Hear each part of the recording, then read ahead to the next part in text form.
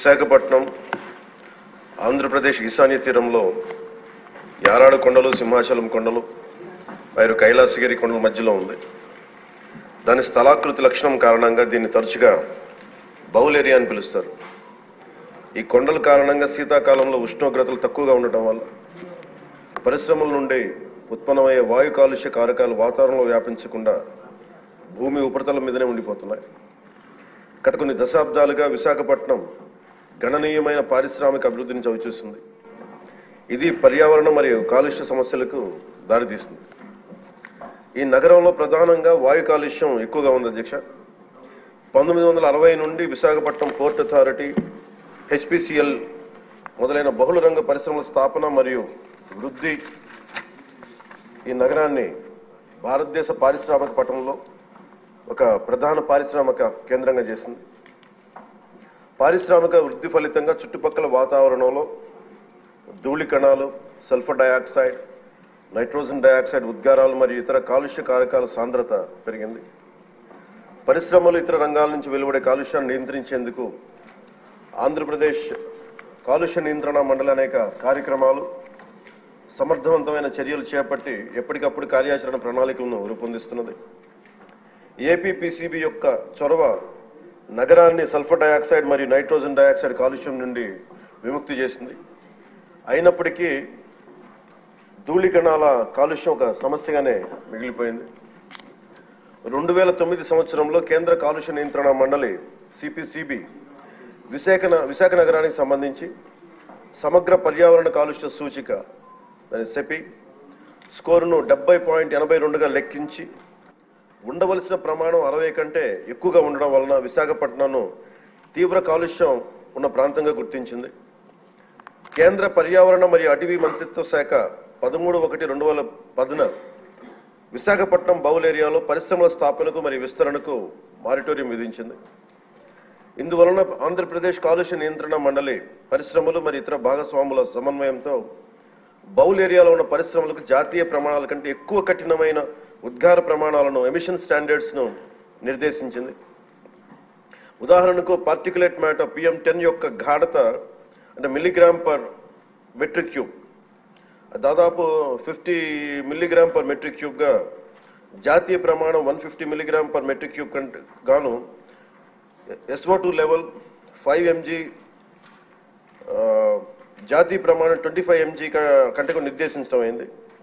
ఈ కఠినమైన నిబంధనల కారణంగా పరిశ్రమలు కాలుష్య నియంత్రణ వ్యవస్థను అప్గ్రేడ్ చేశాయి. మరియు గ్రీన్ విశాఖ కార్యక్రమం కింద విస్తారమైన గ్రీన్ బెల్ట్ని అభివృద్ధి చేశాయి.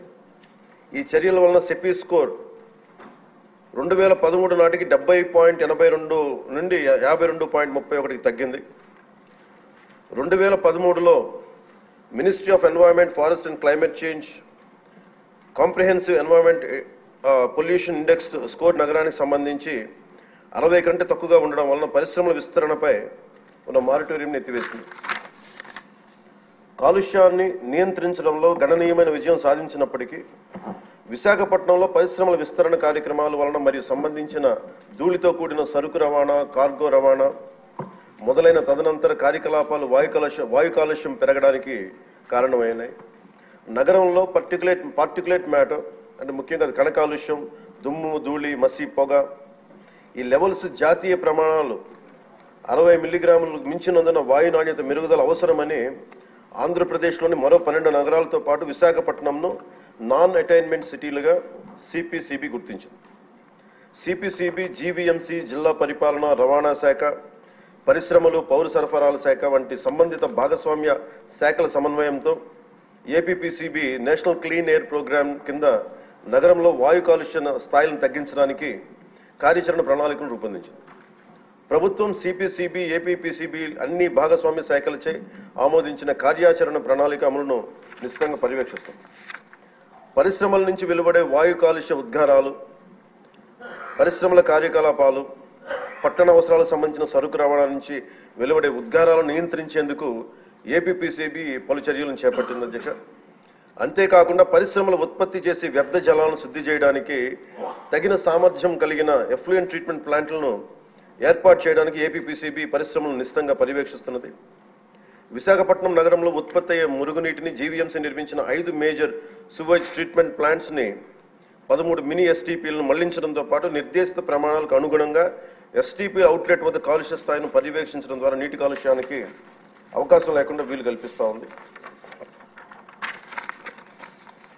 జీవీఎంసీలో ఉత్పన్నమయ్యే ఉత్పత్తి అయ్యే మున్సిపల్ ఘన వ్యర్థాలను వేస్ట్ ఎనర్జీ ప్లాంట్ శుద్ధి చేసి పదిహేను మెగావాట్ల విద్యుత్తును ఉత్పత్తి చేస్తున్నారు అధ్యక్ష.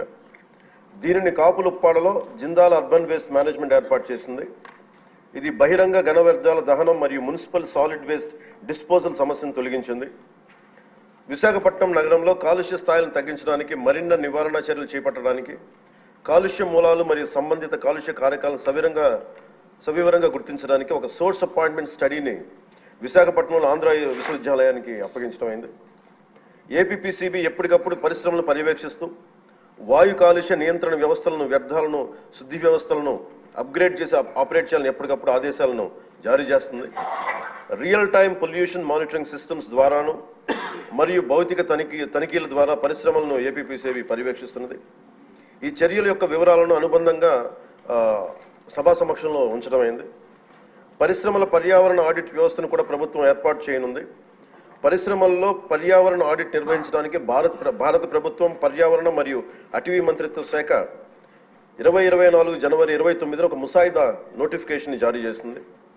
పర్యావరణ సుస్థిరత మరియు పరిశ్రమల వృద్ధికి నిబద్ధతలో భాగంగా పర్యావరణ చట్టాన్ని పాటించేలా చూడటానికి మరి చూడటానికి మరియు పెరుగు మెరుగుదల అంశాలను గుర్తించడానికి ఏపీపీసీబీ పరిశ్రమల్లో క్రమం తప్పకుండా పర్యావరణ ఆడిట్ నిర్వహిస్తున్నది. పరిశు పరిశుభ్రమైన పర్యావరణ లక్ష్య సాధన కోసం ప్రజలతో సహా సంబంధిత భాగస్వాములందరినీ చైతన్యవంతం చేయడానికి ఆంధ్రప్రదేశ్ పొల్యూషన్ కంట్రోల్ బోర్డు మరియు ప్రభుత్వం చిత్తశుద్ధితో కృషి చేస్తున్నాయి.